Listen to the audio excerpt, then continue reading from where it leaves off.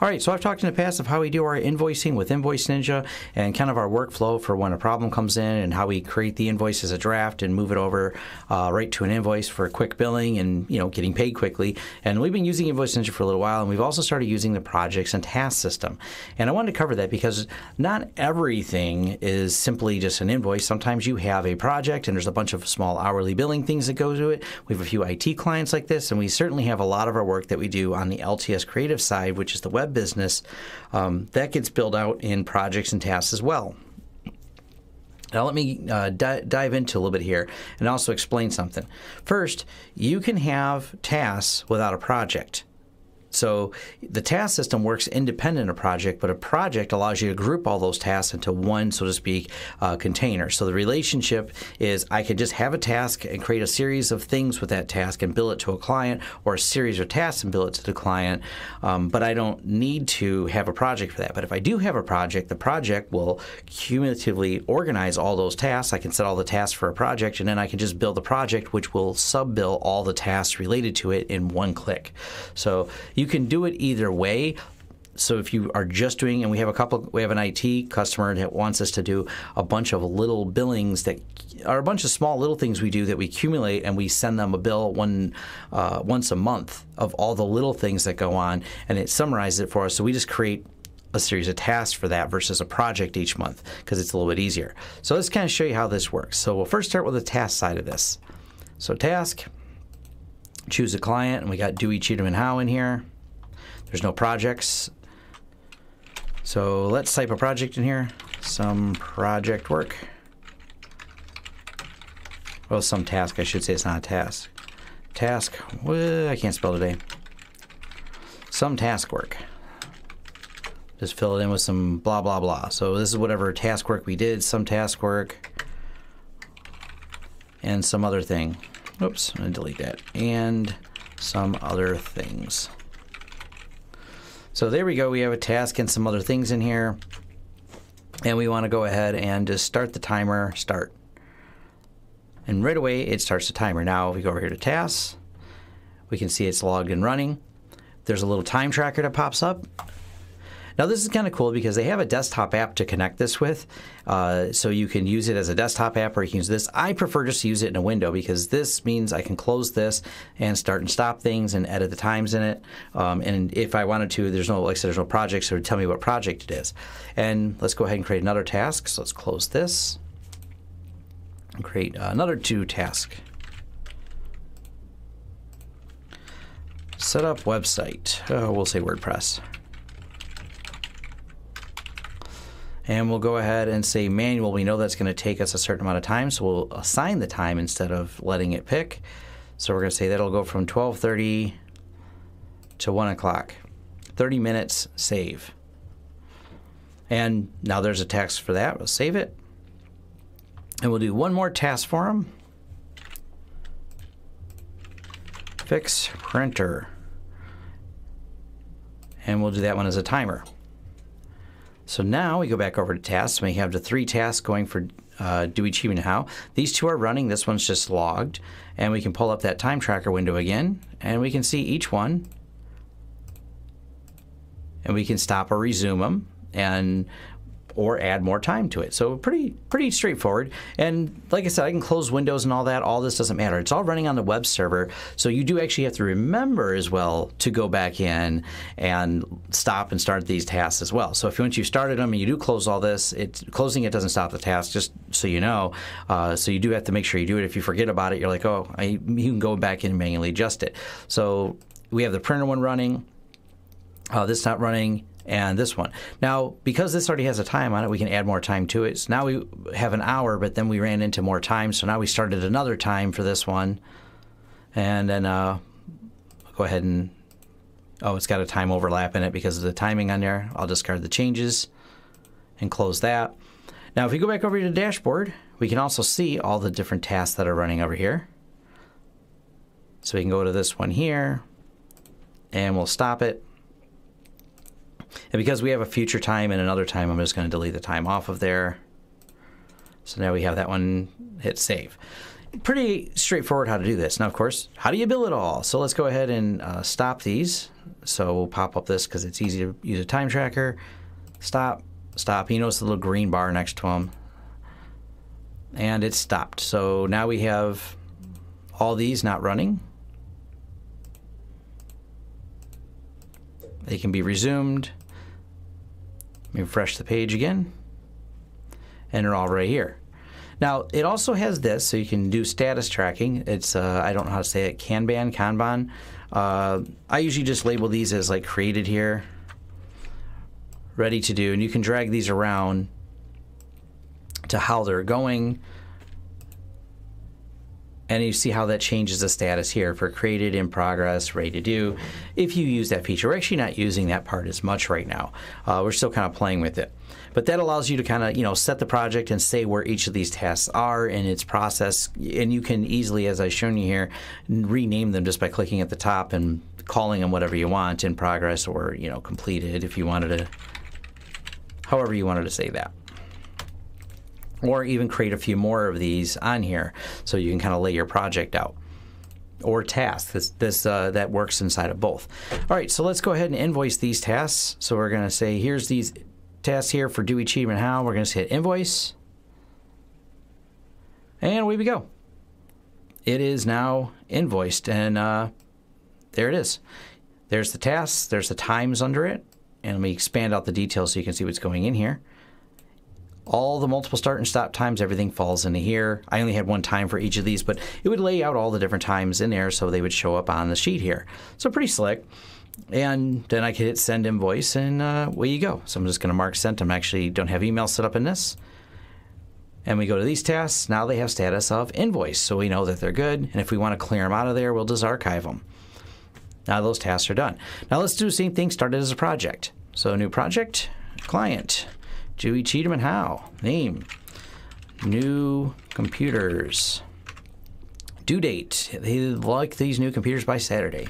Budget of five hours, a task rate of 150. They want new computers. They want some Dells, dude. So there's a little project description. All right, project successfully created. Now let's first task. Order the Dells, dude. And we know when we're going to order them, so we're going to say we'll order them on Thursday. And there's an hour of time in the ordering. There, just so you make the times nice and clean. Save. Then go back over to the project, and we can see the task for it. So here's the task start date there's an hour of the task going to be in there and you're starting to accumulate. So that's 20% of the hours on there. So let's do another new task. Set up new computers. And uh, that'll start on Friday. We'll set up the new computers. Actually, we'll set a time. So Friday at 12:15. And then we'll just say that's going to take up three hours of time to set those new computers up. Hit save. Now we'll go back over and look at the project again. Whoops. All right, now you're kind of getting a timeline for this project. So now we're here, here, and then uh, we've used up 80%, so another hour left on that project. So we're going to add a new, one more new task. Deliver computers and they wanted them Saturday, so we'll choose the time of noon. Whoops, and then we'll choose the date of Saturday.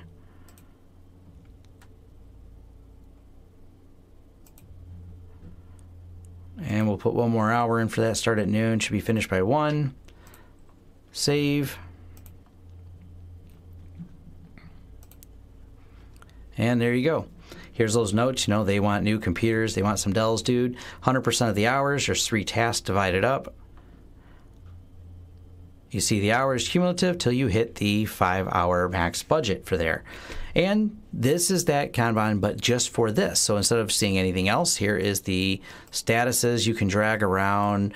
Uh, you could even do things like put people's names in here to assign them like that so they would know. It doesn't really have a notification system, so it like notifies like a full blown huge project manager where you give it names and it emails each person about the tasks they're supposed to do. It's a little bit more manual, but that actually works fine for us. We know who's doing what tasks, um, and we have other methodologies like using some spreadsheets to really get a bigger picture tracking of what goes on with projects um, and who's assigned to what.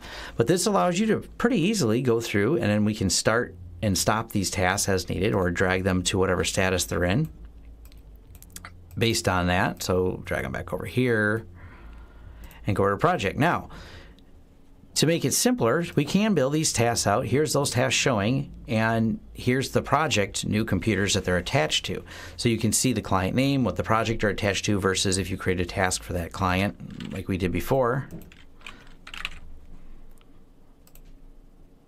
with no hours at all in it, go to tasks, and this one doesn't have a project. Of course, that makes it easy to filter, so you could filter by the project or filter however you want it on there. And here's the test that shows up in this, but when you start at the project, go here and click on it. It's only the ones related to this. So that's the difference between the project uh, Kanban versus tasks, new computers, Kanban project for that versus the bigger one.